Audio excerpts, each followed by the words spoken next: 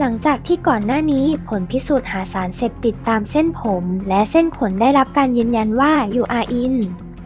นักแสดงหนุ่มชื่อดังมีการใช้กัญชา และโพลโพฟอน จนสื่อเกาหลีพากันวิจารณ์ว่าเจ้าตัวยากจะคืนจอได้อีกครั้ง แต่ล่าสุดมีการยืนยันเพิ่มเติมพบยาเคและโคเคนด้วย ตามรายงานจากทีวีชอซัน ได้ยืนยันผลการตรวจดังกล่าว โดยก่อนหน้านี้เมื่อวันที่ 5 กุมภาพันธ์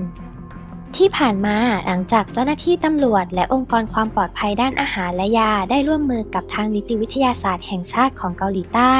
ได้ออกมายืนยันก่อนหน้านี้ว่าในร่างกายของพระเอกดังยูอาอินตรวจพบยาเสพติด 2 ชนิดคือกัญชาและพลโพฟอน แต่พบว่ามีตัวยาอื่นในร่างกาย แต่ยังไม่สามารถระบุได้ว่าคือยาชนิดใด จนกระทั่งทางนิติวิทยาศาสตร์ได้ยืนยันแล้วว่ายาอีก2ชนิดคือยาเคและโคเคน รวมแล้วในร่างกายของเขามียาเสพติดมากถึง 4 ชนิด เป็นที่ทราบกันดีว่าโคเคนเป็นยาเสพติดชนิดหนึ่งที่มีผู้ใช้เสพมากที่สุดเพื่อความบันเทิงและผ่อนคลาย เนื่องจากโคเคนส่งผลต่อระบบประสาทแม้จะเสพเพียงแค่ครั้งเดียวก็ตาม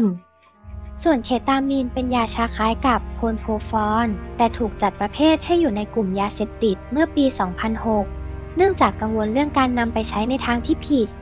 เจ้าหน้าที่ตำรวจเองได้บันทึกใบสั่งยาเคตามีนของยูอาอินแล้วระหว่างที่ไปตรวจค้นที่โรงพยาบาลที่เขาไปบ่อยๆ และกำลังอยู่ระหว่างการตรวจสอบว่าเขาใช้เคตามีนเป็นประจำหรือไม่ และยูอาอินจะถูกเรียกตัวไปสอบสวนอีกครั้งในสัปดาห์หน้าในฐานะผู้ต้องสงสัย ส่วนการใช้ยาพ่นโพฟอนของยูอาอินก่อนหน้านี้ทางชาวเน็ตต่างพากันช็อกกับปริมาณที่เขาเสพเข้าร่างกาย เพราะมีการใช้มากถึง 73 ครั้งในปี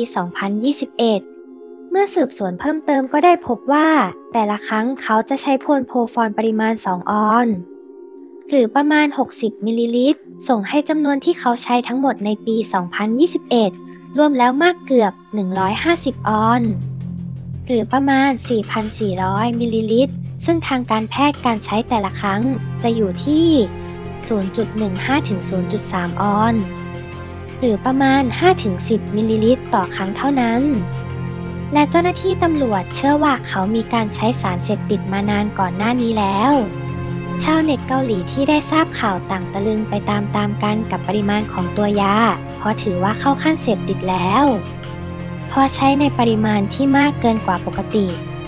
แต่โชคดีที่เขายังสามารถมีชีวิตรอดจากความตายมาได้ เขาควรจะดีใจนะที่เขาถูกจับว้าว เคยได้รับ propofol ปริมาณ 10 มิลลิลิตรมาแล้วครั้งหนึ่ง เพราะมันไม่ตอบสนองกับร่างกายเท่าไหร่ คิดว่ายูอาอินใช้ยาขนาดนี้ เพราะร่างกายเขาเริ่มดื้อยา จึงต้องเพิ่มปริมาณมากขึ้นเรื่อยๆ เขารอดมาได้ยังไง และขนาดนี้ ตายได้เลยนะ เหมือนเขาพยายามทำให้ตัวเองหลับแล้วตายไป ไม่เข้าใจว่าทำไมหมอถึงยอมให้เขาใช้ปริมาณเยอะขนาดนี้ เป็นเพราะเงินเหรอโพลโพฟอน นี่ของจริงนะ เขาหัวใจวายตอนนอนหลับได้เลย การพบสารเสพติดในร่างกายมากขนาดนี้ สื่อเกาหลีต่างเห็นพ้องต้องกันว่ายูอาอินคงไม่มีโอกาสได้หวนคืนวงการบันเทิงอีกแม้ว่า เขาจะเป็นนักแสดงฝีมือดีพอทั้งเรื่อง The Mesh หรือ Goodbye Heart ที่ฉายทาง Netflix ก็ได้รับความนิยมอย่างมากทั้งคู่ นอกจากนี้ยังมีเรื่อง Hellbound ซีซั่น2 ที่กำลังถ่ายทำก็ต้องถูกระงับเอาไว้ก่อน สื่อเกาหลีได้คาดการณ์ว่า แม้ว่าเขาจะสามารถพาตัวเองหวนคืนวงการบันเทิงได้ในอนาคต แต่กับ 3 สถานีหลักของเกาหลีใต้คงยาก ที่จะออกอากาศคอนเทนต์ต่างๆ ที่มียูอาอิน ปรากฏอยู่ด้วยแน่นอน ห่างใกล้สิ่งเหล่านี้เป็นดีที่สุดค่ะ อย่าเข้าไปยุ่งเรื่องพวกนี้เลยค่ะทำให้ชีวิตพังมานักต่อนักแล้วเป็นสิ่งไม่ดีค่ะ